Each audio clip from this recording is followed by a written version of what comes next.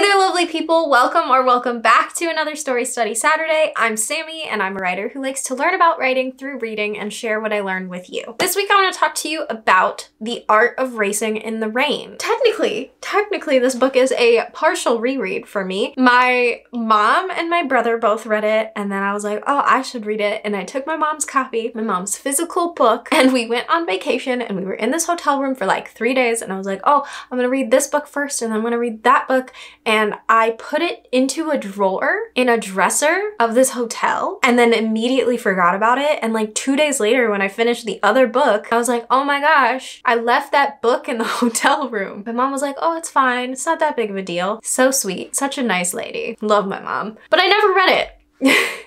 Until now, which is like probably 10 years later, minimum. Like, it's been a minute. Happy to finally be here. I definitely remembered some stuff from it. So I def- I know I started it at least somewhat because I have all of these like images in my head that once I got to them, I was like, oh yeah, I remember that. I know I never finished it because I left it in a hotel room. So, so if you don't know what The Art of Racing in the Rain is, I will give you a quick summary. Enzo, a lab and possibly terrier mix, tells the story of his life as a loving dog in a family that has gone through quite a few hardships, as he learns everything his soul needs before he can move on to his next life as a human. So let's get into my thoughts. There is something so connected about seeing this entire story progress through Enzo's eyes and how he perceives the world and getting his understandings of these situations that maybe would have been clearer from a human's perspective, but from his perspective, it's all very emotionally directed rather than like facts directed. And it makes empathizing with these characters really, really easy. It really connects with the love that a dog has for their people, even as their people are like going through situations that they don't really have the time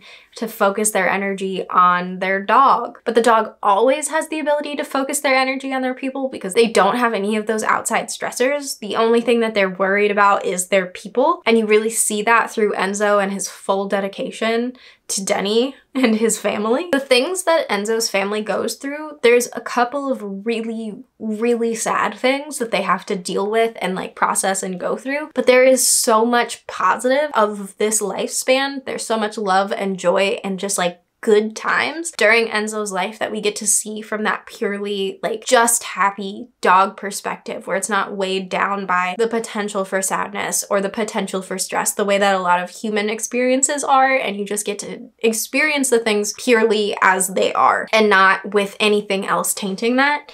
And it's the right balance. So there's enough joy in the story to bring you through the really, really sad parts. That's a really good balance to get in any story so that it's not like work for the reader to get through. There's a light in the tunnel. Like there are, it's dark sometimes for sure, but there are lights. I think that this does a really great job of balancing those things. I think the role that TV and movies play in developing Enzo as a character is really, really important and super well done because it makes a lot of sense creatively. If you think about Enzo as a child instead of as a dog that has lived a whole life, because if you think like dogs are supposed to have the IQ of a three-year-old for their whole lives, so let's think about him as if he were a child. He wouldn't have any outside resources. He wouldn't be going to like school to get an education or like figure out, meet other people and see how other people live their lives. He would just have what is in his home. So by Denny leaving the TV on when he goes to work, he's able to watch movies and see how pop culture people interact with each other and see what happens in movies and have reference points for different experiences of life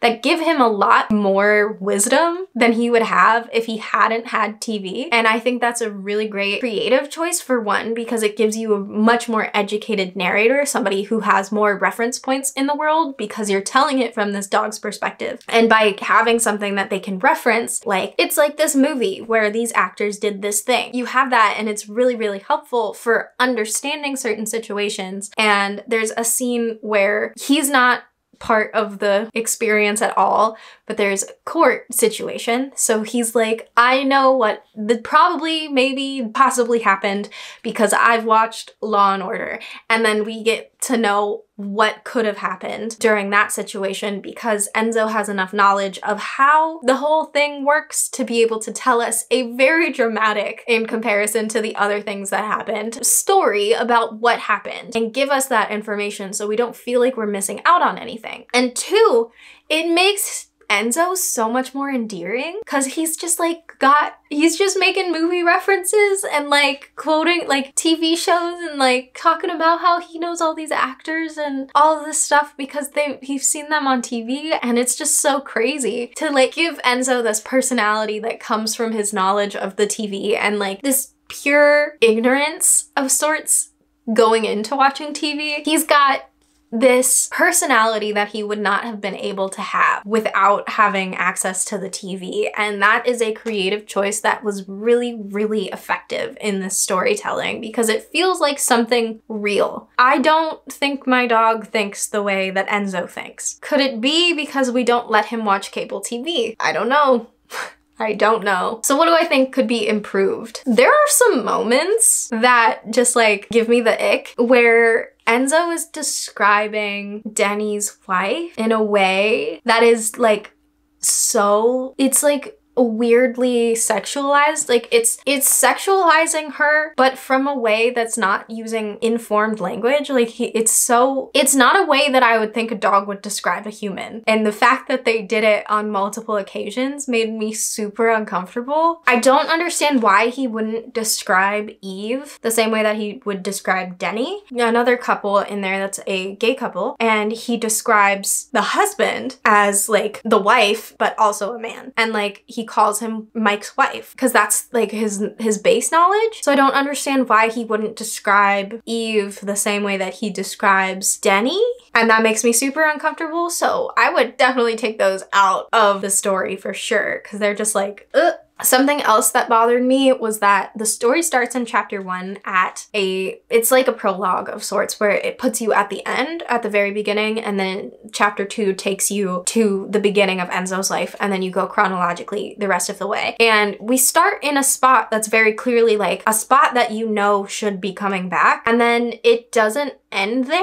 Like the end of the book is not in at all similar to the beginning where I'm not sure why. You could have just as easily put what actually happens at the end because I think what happens at the end is better than what happens at the beginning, the end beginning. And you could have just had that all be the same. That could have been a revision. Like you could have known I want to start at the end and then go from the beginning and then get to the end and be like, wow, I've reread my writing and the beginning is different than the end now, even though the end, the beginning is supposed to be the end. So maybe make those connect. This is something that was done really well in Kindred and not really well in this book where you get that like glimpse into the future, but you don't get it back. You don't end up back there. It doesn't make any sense the way that it's written. So what can we learn from this story? For one, we can learn about telling a story from a unique perspective and staying with that one perspective. Enzo has to be told everything, but Enzo tells us everything, but we don't have to hear Enzo being told everything to know everything. Like, it's not, you don't have to bounce back and forth. So like, you don't have to have a character say, hey, I did A, B, and C to know that A, B, and C happened. That is something that I've seen in other books that has really bothered me. For example, The War of Two Queens. That one, very much so had a lot of like, hey, I'm gonna tell you all of these things that the reader already knows. But this does a really good job of having one perspective and having that one perspective tell everything without having the reader have to be informed over multiple occasions on how things transpired. We just get it once and it's very effectively told that one time. It's also a really great example of like emotional flows in the story where you get the right kind of language to empathize with characters and you get a main character who empathizes empathizes with everyone and is able to communicate the feelings going on more effectively than probably the characters themselves. And that's something that I think is really unique to this story, whether that's because of the style of writing, because the narrator is a dog, or just like dumb luck. I think this is a really great example of having that empathy really easily accessible for all of the characters in the story. It's also a good example of a very niche knowledge expanding to fill out the story this is called The Art of Racing in the Rain. A lot of the story is based around racing and like concepts, mantras, etc. from racing about racing. So it's it's really able to expand that one niche topic into